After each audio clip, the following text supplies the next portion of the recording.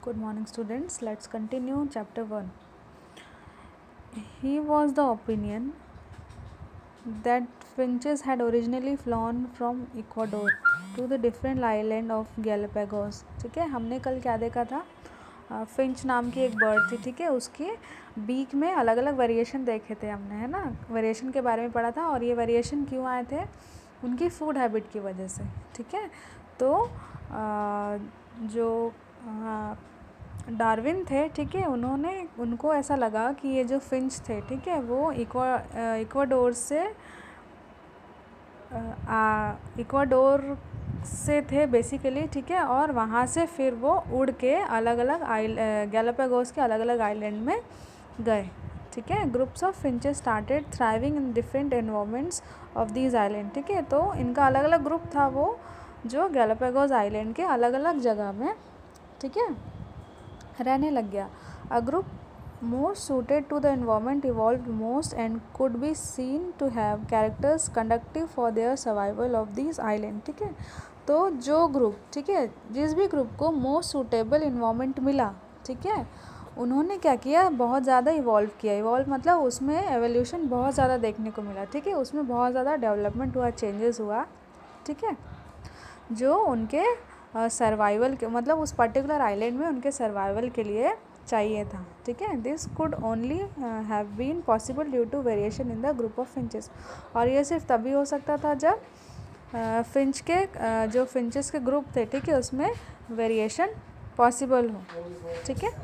The development of different communities of finches surviving on different island of Galapagos from from from a community that had originally come from Ecuador shows that varied finches originated from an apparently similar group, ठीक है? तो जैसे Darwin ने Galapagos में finches की अलग अलग variety देखी थी, है ना? तो लेकिन ये सभी ओरिजिनेट कहाँ से हुई थी? इक्वाडोर से, ठीक है? इक्वाडोर एक प्लेस है। वहाँ से ओरिजिनेट हुई थी, वहाँ से वो उड़ के अलग अलग गैलापेगोस के आइलैंड में गई। वहाँ पे अलग अलग इन्वायरमेंट और अलग अलग हैबिटेट के कारण उसमें फिर तरह तरह के इवेल्यूएशन स्टार्ट हुए, ठीक है? Finches with prominent uh, prominently visible variation in type of beak were related and had the same origin ठीक है? तो जिनकी बीक में अलग अलग एवेल्यूशन चेंजेस देखने को मिले ठीक है? वो सब उन सब का ओरिजिन एक ही जगह से हुआ था ठीक है? जैसे यहाँ पे पिक्चर में आप लोग देखो जो इंसेक्ट खा रहे हैं उनकी बीक कैसी है? ठीक है? जो फ्रूट्स खा रहे हैं उनकी बीक कैसी है? जो बर्ड्स खा रहे हैं, उनकी बीक कैसी है और जो सीड्स खा रहे हैं, उनकी बीक कैसी ठीक है? Such characters as the type of beak in finches which had diversified structural structurally and functionally from same origin type are called homologous characters ठीक है? अब देखो डार्विन ने क्या देखा कि such characters as the type of beak in finches, which had diversified structurally and functionally. यहाँ पे देखो फिंच का सिर्फ़ एक कैरेक्टर कौन सा कैरेक्टर बीक ठीक है? बीक में डाइवर्सिफिकेशन देखने को मिला. बीक में अलग अलग चेंजेस देखने को मिले. ठीक है? हालाँकि उनका जो बेसिक कैरेक्टर था, वो क्या था? सेम था. बेसिक कैरेक्टर मतलब किसकी बात कर रहे हैं हम यहाँ पे? बीक की बात कर रहे हैं, चोंच की बात कर रहे हैं. ठीक है? तो कैरेक्टर एक था, लेकिन सबका स्ट्रक्चर और फ़ंक्शन जो था वो अलग अलग हो गया था, है ना? लेकिन ये सभी का ओरिजिन क्या था? एक था, ठीक है? तो ऐसे स्पीशीज़ को उन्होंने क्या, ऐसे कैरेक्टर्स को उन्होंने क्या कहा? होमोलोगस कैरेक्टर्स ठीक है? होमोलोगस कैरेक्टर क्या होता है कि जिनका टाइप एक होता है, ठीक है? जिनका ओरिजिन एक होता है, लेकिन डाइवर्सिफिकेशन के कारण उनका स्ट्रक्चर और फ़ंक्शन अलग अलग हो जाता है, ठीक है? तो यही क्या होता है आपका? Homologous character Darwin had considered these is very strong evidence for evolution ठीक है? तो डार्विन ने इन सभी चीज़ों को बहुत ज़्यादा स्ट्रॉन्ग एविडेंस माना, ठीक है? Evidence theory evolution theory prove करने के लिए। ठीक है? Let us observe some characters first in plants and then animals to find out more homologous character ठीक है? तो आइए प्लांट्स में भी हम होमोलोगस कैरेक्टर देखते हैं। होमोलोगस कैरेक्टर क्या होते हैं? जिनका ओरिजिन एक होता है, ठीक है? जिनका ओरिजिनल टाइप सेम होता है, बस टाइम के साथ साथ हैबिटेट के कारण उनके अंदर बहुत सारे एवेल्यूशन आ जाते हैं, ठीक है? तो यहाँ पे देखो प्लांट्स में। इसकी स्टेम कैसी है? ठीक है रूट देखो, फिर ये देखो, फिर इस वाले प्लांट की स्टेम देखो और इस वाले प्लांट की स्टेम देखो, ठीक है? You may observe different types of stems in plant ठीक है? आपको अलग अलग स्टेम देखने को मिल रही है। Some types are shown in eight a with the help of the figure your own prior observation and discuss discussion with your friends and list all the different plants in which you can see stem that appear to perform different functions ठीक है? तो यहाँ पे देखो stem एक ही है, लेकिन उसका फ़ंक्शन अलग अलग हो रहा है। ठीक है? ये देखो, ये वाली जो स्टेम है, ये फ़ूड स्टोर करके रख रही है। ठीक है?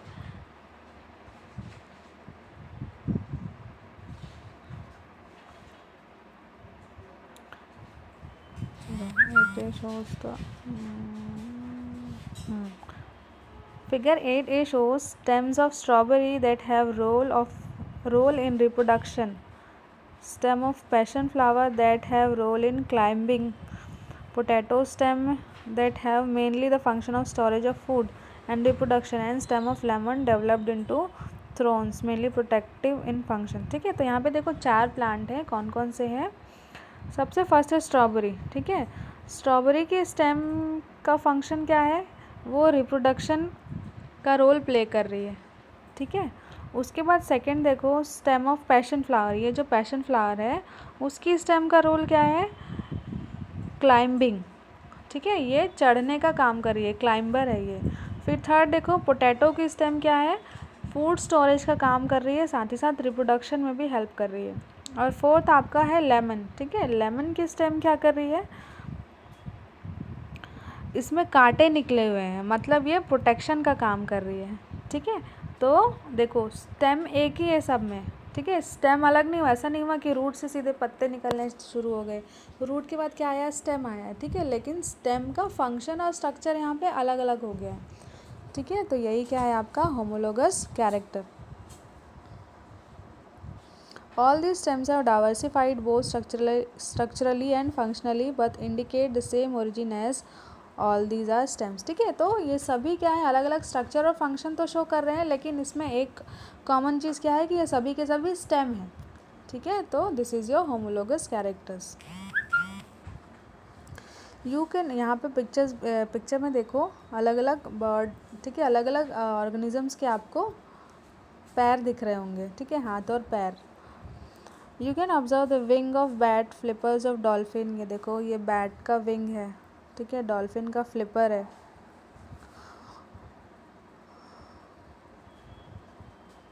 फोर लिम्ब ऑफ़ शीप ठीक है शीप का फोर लिम्ब है, ये देखो। और क्या है डॉग्स डॉग का भी है, सामने वाला पैर as well as human and mice ठीक है ह्यूमन का भी है और माइस का भी है। All apparently have the similar set of bones in them ठीक है। एक चीज़ ध्यान देना, सभी में जो सेट ऑफ़ बोन है, ठीक है, वो सिमिलर है। मतलब यहाँ पे भी देखो, एक लंबी बोन आई, उसके बाद चार पाँच बोन यहाँ निकली हुई है। यहाँ पे भी देखो सिमिलरली बर्ड में भी, ठीक है बैट में भी one two three four five human में भी और माइस में भी, ठीक है शीप में और डॉग में भी। तो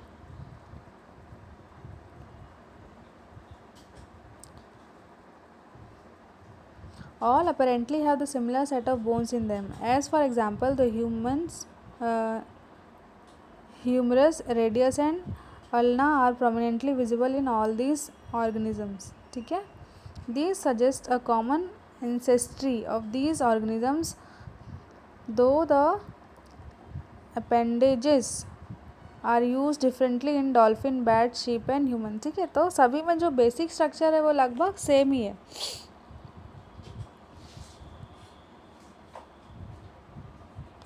characters that indicate similar origin but diverse function are called homologous organ ठीक है? तो होमोलोगस ऑर्गन क्या होता है? Characters that indicate similar origin ठीक है? इन सभी का ओरिजिन सेम है बट फ़ंक्शन अलग अलग है। तो इसे हम क्या कहते हैं? होमोलोगस ऑर्गन ठीक है?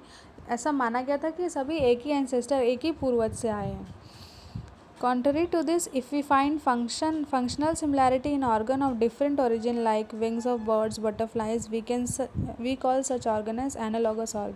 ठीक है और इसके जस्ट अपोजिट अगर फ़ंक्शन सेम होगा और ऑर्गन डिफरेंट होंगे तो ये क्या होता है आपका एनालॉगस ऑर्गन ठीक है जैसे हमारे हाथ ठीक है और बटरफ्लाई की विंग्स हमारे हाथ और बैट के विंग्स तो इनका स्ट्रक्चर अलग है, लेकिन फ़ंक्शन एक ही है बट बैट भी क्या करता है? होल्ड कर होल्ड करता है अपने विंग से, ठीक है? हम क्या करते हैं? अपने हैंड से होल्ड करते हैं, ठीक है? तो यहाँ पे क्या हो रहा है? स्ट्रक्चर अलग है, लेकिन फ़ंक्शन सेम है। तो इसको क्या बोलते हैं? एनालॉगस कैरेक्टर ठीक है? While the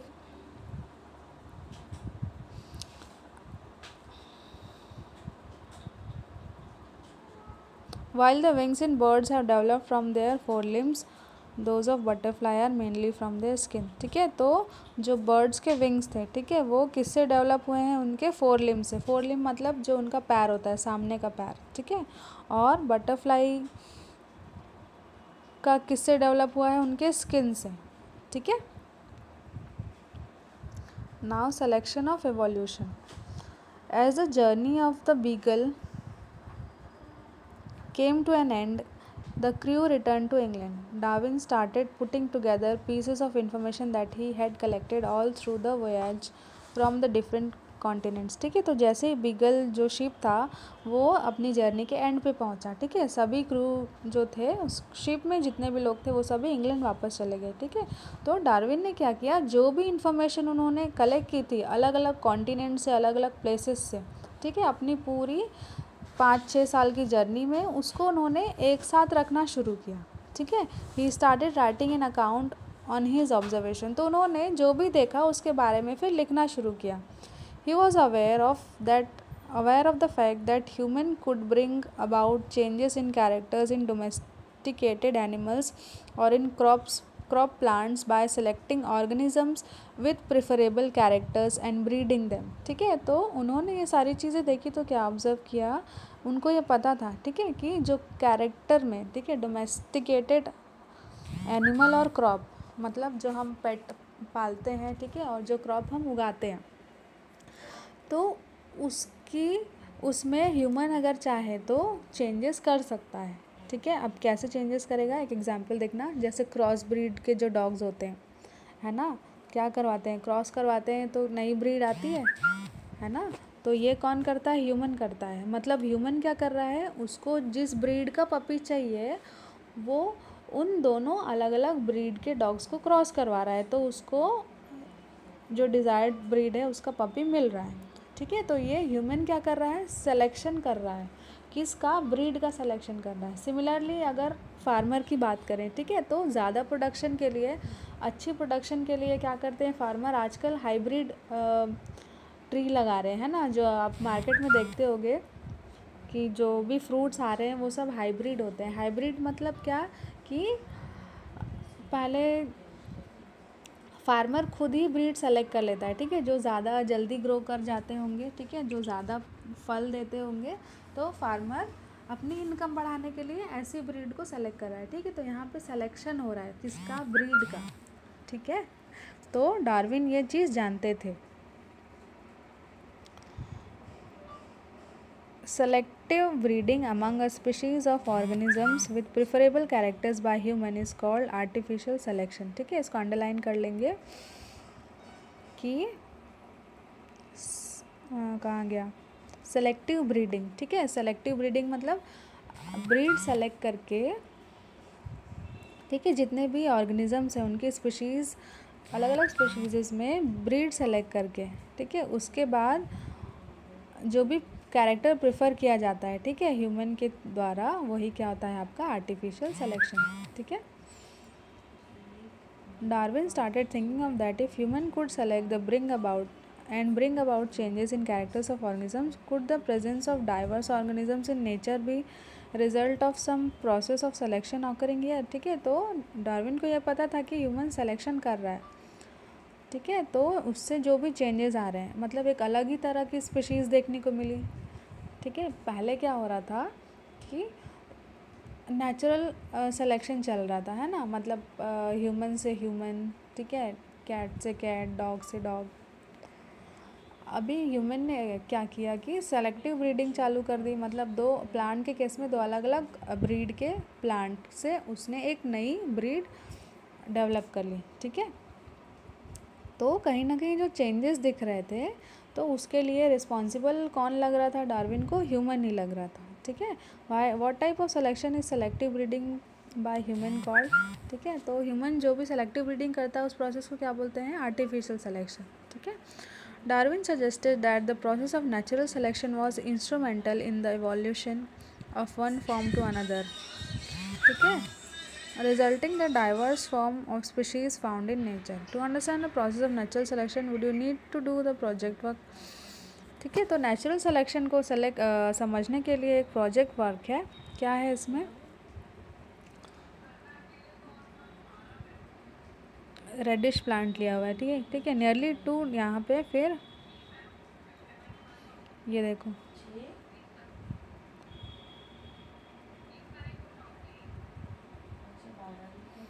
Nearly two decades after the voyage of Beagle another scientist name Alfred Russels Wallace set out on similar voyage from England mainly to island in the American and Asian subcontinent ठीक है? तो जब Darwin की journey चालू हुई थी, beagle की journey चालू हुई थी, उसके बाद एक और साइंटिस्ट थे, ठीक है, अल्फ्रेड रसेल। उन्होंने भी अपनी जर्नी इंग्लैंड से स्टार्ट की, कहाँ के लिए? अमेरिकन और एशियन सब कॉन्टिनेंट्स के लिए।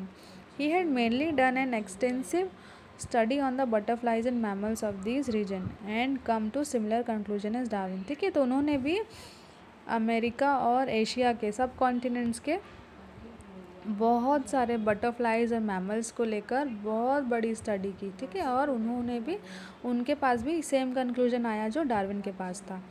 Wallace also suggested that origin organisms evolve from pre existing organisms in selective process in nature accord sub spontaneously and non intentionally giving rise to diverse form of species species present on earth ठीक है? तो उन्होंने क्या बोला कि organism में, ठीक है? एवेल्यूशन कैसे आता है? प्री एग्जिस्टिंग ऑर्गेनिज़म होते हैं, उसके बाद वो चेंजेस आते रहते हैं, ठीक है? और दूसरा क्या है? सेलेक्टिव प्रोसेस से भी चेंजेस आते हैं, ठीक है? जो स्पॉन्टेनियसली होती है नॉट नॉन इंटेंशनली ठीक है? Giving rise to the diverse form of species present on earth तो अल अर्थ में अलग अलग तरीके के स्पीशीज़ जो हैं, ठीक है? अलग अलग सेम ऑर्गेनिजम्स की अलग अलग स्पीशीज़ देखने को मिलती हैं। तो ये क्यों होता है कि यही सेलेक्टिव प्रोसेस के कारण है, ठीक है? सेलेक्टिव प्रोसेस के कारण क्या होता है? अब जैसे यहाँ पे एक, यहाँ पे देखो पिक्चर में क्या था? ये रेडिश प्लांट आपको दिख रहा है, ठीक है? एक प्लांट में बहुत सारे रेडिश फ़ील्ड में बहुत सारे रेडिश फ़ील्ड लगे, ठीक है? उसके बाद बाढ़ आई तो कुछ प्लांट बह गए, ठीक है? और यहाँ पे कितने बचे? सिर्फ़ इतने बचे, ठीक है? तो ये दोनों का जो भी सेलेक्टिव सिलेक्शन प्रोसेस होगा, उसमें से इन टाइप के ही निकलेंगे, ठीक है? अब यहाँ से जो बाकी बाढ़ में बह के चले गए दूसरी जगह तो हो सकता है जहाँ वो गए होंगे, वहाँ पे इससे थोड़े से अलग ब्रीड के रेडिश प्लांट होंगे, ठीक है? तो वहाँ पे उन लोगों के सिलेक्शन प्रोसेस से, उन लोगों के रिप्रोडक्शन से एक अलग तरीके का ब्रीड या स्पीशीज़ देखने को मिलेगा ठीक है? तो ये जानबूझ के कोई नहीं कर रहा है। जो वेरिएशन देखने को मिल रहा है ना ये जानबूझ के कोई नहीं कर रहा है। या हम सिंपल अपना एग्जांपल ले लेते हैं ह्यूमन का ठीक है? आप और आपके आ, भाई एक जैसे दिखते होंगे ठीक है? आपका कैरेक्टर आपके मम्मी पापा के कैरेक्टर से किसी से मिलता हो कैरेक्टर मतलब लुक वाइज ठीक है? आँखें आपके नाक आपके बाल जो भी ठीक है? अब थोड़ा बहुत आपका आपकी दादी या दादा से भी मिलता होगा। ठीक है? तो थोड़ा थोड़ा कैरेक्टर्स आप में पास हुआ। ठीक है? चेंजेस कहाँ आए? आपकी मम्मी जो थी, ठीक है? तो आपकी मम्मी के कुछ कैरेक्टर्स आप में आए होंगे, आपके पापा के कुछ कैरेक्टर्स आप में आए होंगे, है ना? पूरे के पूरे कैरेक्टर्स तो नहीं आए तो यही क्या है आपका? डाइवर्सिफिकेशन ठीक है?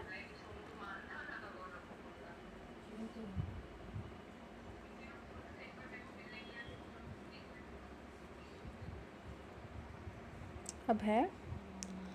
Artificial selection has led to the evolution of different varieties of rice rice wheat etcetera ठीक है? तो आर्टिफिशियल सिलेक्शन करके गेहूँ और चावल की बहुत अलग अलग अच्छी किस्म पैदा की गई है, ठीक है? That we see today different types of vegetables and fruits have also been developed in this way ठीक है? अब देखो कैसे होता है आर्टिफिशियल सिलेक्शन ये देखो। ये, इन दोनों के, ये दोनों प्लांट यूज़ किया गया है, ठीक है? उससे क्या कौन कौन से हुए देखो? खोल रबी स्टेम ठीक है? फिर रेडिश रूट फिर ब्रोकली आया, ठीक है? फिर क्या आया? मस्टर्ड आया, फिर इससे कैबेज आई और कॉलीफ्लावर आया, ठीक है? तो ये सब क्या है? आर्टिफिशियल सिलेक्शन आर्टिफिशियल सिलेक्शन से हम बहुत ज़्यादा डिज़ायर्ड ठीक है डिज़ायर्ड और अच्छी ब्रीड बना सकते हैं। Now theory of evolution Darwin and Wallace together suggested the following based on evidences and rigorous study ठीक है? तो क्या क्या उन्होंने एविडेंस देखी एवोल्यूशन के लिए और क्या theory the? Variation found in organisms led to the diversity in the ability of them to survive in nature ठीक है? तो जो भी वेरिएशन मिले ऑर्गेनिजम्स में, ठीक है? उसने क्या, उससे क्या हुआ कि led to the diversity in the ability of their ability of them to survive in nature ठीक है? तो किसी भी नेचर में सर्वाइव करने के लिए, ठीक है? उनकी अलग अलग कैपेबिलिटी देखने को मिली, ठीक है? Some live long while other for a short period of time अलग अलग जीते थे, कुछ बहुत लंबी, किसी की एज बहुत लंबी थी, ठीक है, कुछ बहुत शॉर्ट टाइम के लिए ज़िंदा रहते थे। Some produce more offsprings while other reproduce produce less offspring ठीक है? ऑफ़ स्प्रिंग मतलब बच्चे, ठीक है? ह्यूमन के ही नहीं, जिस भी स्पीशीज़ की आप बात कर रहे हो, उसके ऑफ़ स्प्रिंग तो कुछ के ऑफ़ स्प्रिंग बहुत ज़्यादा होते थे और किसी किसी के कम होते थे, ठीक है? Population of these have greater ability to survive have more chances of evolving over the others ठीक है? तो जिसकी पॉपुलेशन ज़्यादा होती थी, उसमें बहुत ज़्यादा, उसमें ज़्यादा एवोल्यूशन देखने को मिलता था। Thus over the time we have new composition of the population of organisms with those apparently suited better to a certain sets of environmental conditions ठीक है? तो जैसे जैसे टाइम बीता तो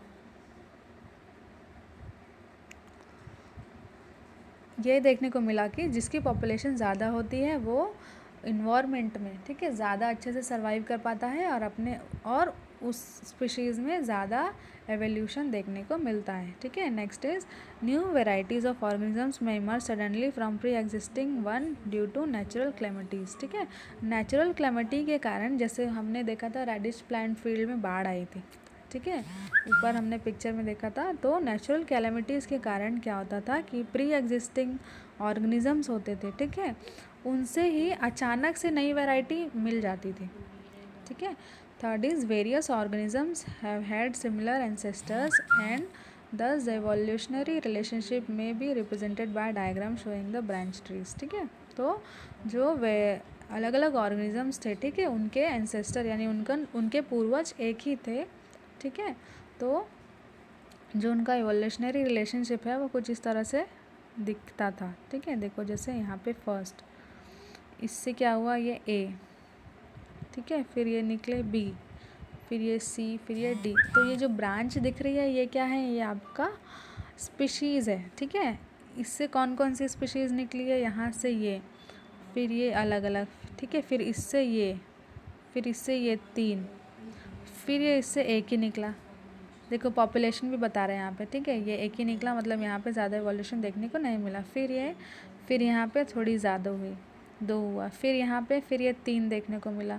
फिर ये आगे बढ़ा तो यहाँ पे देखो कितने सारा आपको वेरिएशन देखने को मिल रहा है, ठीक है? तो ये क्या है आपका variation variations are found in population of organisms variation कहाँ देखने को मिला? जहाँ बहुत सारी पॉपुलेशन थी।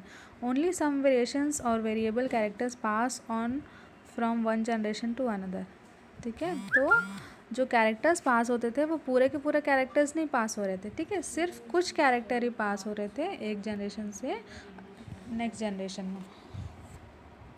Such Such variations over generations lead the formation of population population of organisms that may shows remarkable change from their ancestral types ठीक है? तो ऐसी वेरिएशन से क्या हुआ कि वो लोग अपने एंसेस्टर से धीरे धीरे धीरे धीरे अलग होते गए। These variation often prove to be advantages for the organisms that have them over other चलो, कोई मतलब नहीं six days population of organisms that have advantageous variation usually start growing more profusely in an area, affecting the population of composite, composition there. ठीक है? तो क्या हुआ कि जो ज़्यादा एडवांटेजियस वेरिएशन थे, ठीक है? वो बहुत जल्दी ग्रो कर गए और उससे क्या हुआ, उसकी पॉपुलेशन भी और अफेक्ट हुई, ठीक है? और जो लेस एडवांटेजियस थे, ठीक है? वो रिप्लेस कर दिए गए, ठीक है? मोर एडवांटेजियस वेरिएशन वाले ऑर्गेनिजम्स हैं। Could the extinction of dinosaur be due to the evolution of population of organisms have more advantageous variation तो फिर उन्होंने क्या सोचा कि जो डायनासोर एक्सटिंक्ट हुए हैं, ठीक है, उसकी वजह मोर एडवांटेजियस वेरिएशन ही तो नहीं है कहीं। तो यहाँ पे देखो। Branch tree of evolution of finches showing common ancestor देखो। बुक में आपको ये क्लियरली देखने को मिलेगा। कौन है लार्ज ग्राउंड फिंच ठीक है। इसके एंसेस्टर कौन, ये कौन थे? सीड ईटर थे। अब देखो ये शार्प बिग ग्राउंड फिंच ठीक है। बीक कैसे चेंज हुई? अब उसके बाद ये कौन है? कैक्टस फ्लावर ईटर थे। ठीक है। इनकी, इसकी बीक देखो थोड़ी सी और शार्प हुई। फिर ये कौन है? लार्ज कैक्टस ग्राउंड फिंच ठीक है? उसके बाद में ये सीड ईटर है। ये कौन है? मीडियम ग्राउंड फिंच ठीक है? फिर यही ग्राउंड फिंच है जो ट्री फिंच बने। फिर ये इंसेक्ट ईटर बन गए, ठीक है? उसके बाद ये गए, फिर ये बर्ड ईटर बन गए और ये वार्बलर फ्रिंज बन गए। ठीक है? तो किस तरह से इवेल्यूएशन हुए?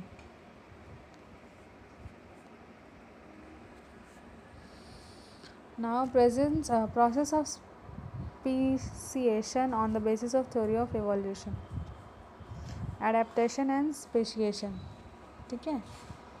We have studied that the beak of the finches showed variation according to the availability of food resources. तो हमने क्या देखा कि बीक की जो फिंच की बीक थी, उसमें वेरिएशन क्यों हो रहा था? फ़ूड अवेलेबिलिटी के कारण, ठीक है? जो इंसेक्ट्स खा रहे थे, उनकी बीक अलग थी, जो सीड खा रहे थे, उनकी अलग थी, जो फ्रूट खा रहे थे, उनकी अलग थी।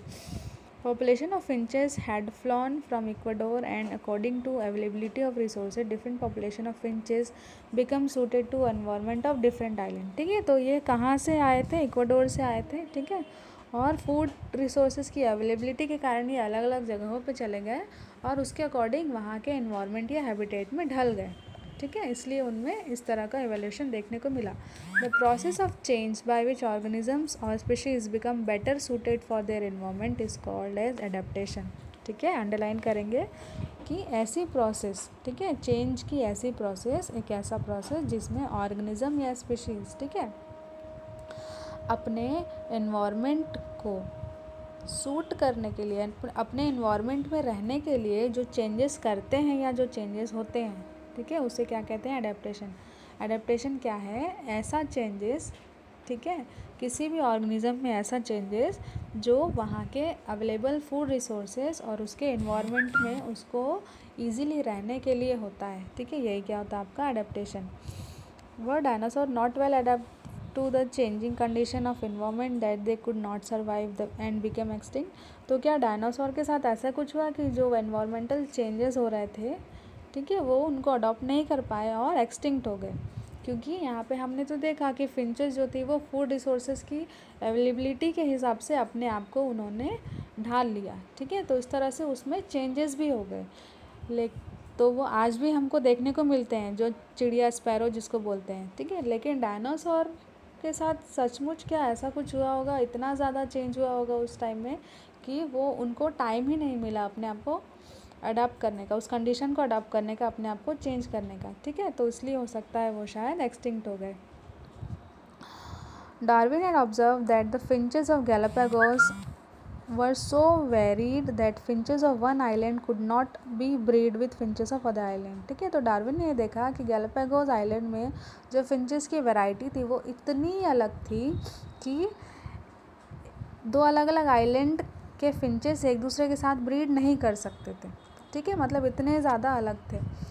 The evolution of organisms such that they vary so much as not being able to interbreed had been considered as a process of speciation ठीक है? अब स्पेसिएशन क्या होता है? ऐसे ऑर्गेनिजम्स ठीक है? Sorry the evolution of organisms such that they vary so much as not being able to interbreed मतलब इतना ज़्यादा इवोल्यूशन में इतना ज़्यादा चेंज हो जाता है कि दो अलग अलग स्पीशीज़ इंटरब्रीड नहीं कर पाती रिप्रोड्यूस नहीं कर पाती, ठीक है? इसी ही इसे ही क्या बोला गया? Process of speciation the process may fast due to natural calamities और स्लो अदरवाइज़ ठीक है? तो ये प्रोसेस फास्ट भी हो सकती है और स्लो भी हो सकती है। Now what are species species were considered to be those group of organisms even during Darwin's time that could sexually interbreed and produce offspring that were viable ठीक है तो स्पीशीज़ क्या होती है एक ऐसा ग्रुप होता है ऑर्गेनिजम्स का ठीक है जो इंटरब्रीड करता है और ऑफस्प्रिंग प्रोड्यूस करता है ठीक है